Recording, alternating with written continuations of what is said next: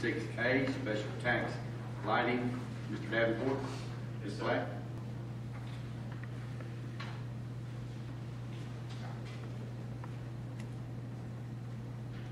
This looks official. Good morning, Commissioners. Um, I'd like to start just with some history about how we, how we got here. Some time ago, probably where time could be measured in years, Mr. Pritchard met with Stephanie and myself and um, was interested in us meeting with Harrison about looking at this fee structure. Because the fees for special tax lighting have been in place since 1995. Um, we respectfully were able to convince him that uh, if he would give us some time to look at the program, because we knew and we thought that maybe by auditing the program, we could make up for the deficit. And uh, ultimately, we did put a, a big dent in it um, to the tune of about $40,000 through various audits. We think we're probably about 4,000 or so dollars away from really having a, a bottom line. The problem with that is last year we lost around forty-seven thousand dollars. And so that number is just more than we think we're capable of making up uh, from just having a solid program. Um, It's discouraging, but on the same token, it gave us an opportunity to go into some of the minutia and the details about where's that forty-seven thousand dollars coming from. So we did that, and what we eventually arrived at were three districts. After meeting with the tax commissioner, she agreed that we could go up to five districts in total. We currently have two. We thought we could at least handle something with three districts. And the reason why we picked three is because you have a standard district, which is what we have now, which is Cobra head type lighting. Have a decorative district, which is the shorter poles. They don't shine out as far, provide the service, but they look a little bit nicer, and most people opt for the decorative lighting. And then we have what we call enhanced, which are areas in the county where we've just determined that these areas just have above and beyond what a normal decorative or a normal standard lighting district would have. And from that, we calculated some options. Obviously, the one that we're in favor of is a revenue neutral type option, where ultimately we took our fees out to fiscal year 2015, based on what we have in-house now, and said, how much do we need to at least try to break even? And that's where this option of revenue neutral came from, uh, and those fees you have before you. We know that there's quite a jump with the enhanced district. We've been in conversation with representatives of those areas to try to determine maybe if there's some partnership that we could uh, obtain to lessen that impact. But ultimately, with enhanced, we're really just trying to break even.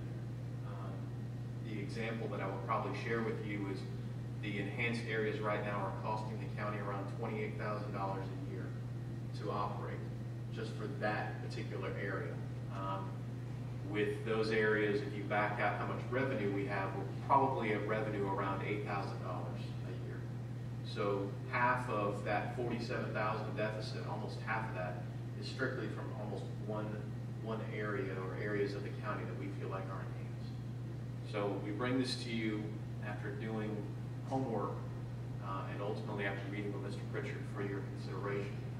Because ultimately, we just don't believe we're going to be able to make things work with the current fee structure and just auditing uh, and tightening up what we currently have. So this morning, what we're doing is we're just asking for some of your direction.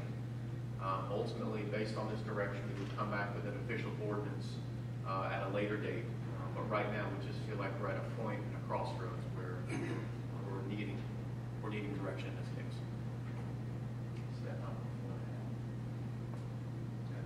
Do you have any questions?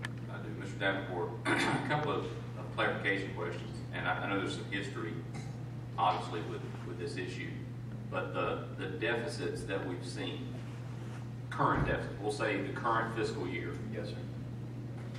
do those deficits come from previous districts that we're not getting the appropriate revenue from, or is it coming primarily from districts since we initiated the change? We did initiate a change Yes. 2010, or uh, 2011 or 12. So where, where's the primary deficit coming from? We, um, since ninety-five, I think we've initiated two changes. One was uh, about two thousand seven. What we did is we were paying for these lights to be installed. Right. Which is similar to us maybe paving a road where the county would pave it and we would take over infrastructure. So we did away with that. We started charging for installation and saying, you have to handle installation before you come to us. The second change is we started using these conditions to make sure that when we came in, the number of lights were equating to the amount of revenue we were going to get. And that was at 2010, 2011, when we really ju- just got a lot tighter with these districts. And so those two changes um, are something we've done. I think these deficits are due to previous districts something that we just do not have, or we have a limited amount of control over, and that is how much we're being charged for power.